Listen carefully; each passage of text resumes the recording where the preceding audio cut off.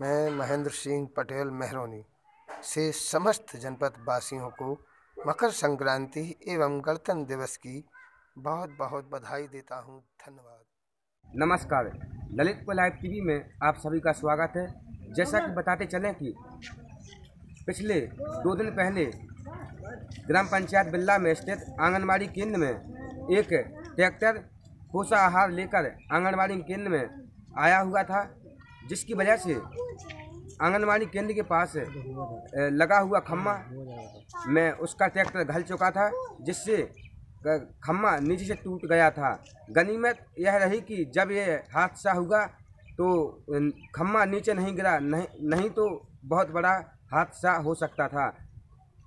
इस खम्मे के टूटने से जहाँ एक और ग्रामीणों को बहुत परेशानी हो रही है, क्योंकि इस समय मकर संक्रांति का त्यौहार चल रहा है और गाँव में इस खंभे के टूटने से विद्युत आपूर्ति ठप हो चुकी है, जिस वजह से गाँव में लाइट नहीं पहुँच पा रही है और ग्रामीणों को बहुत परेशानी का सामना करना पड़ रहा है।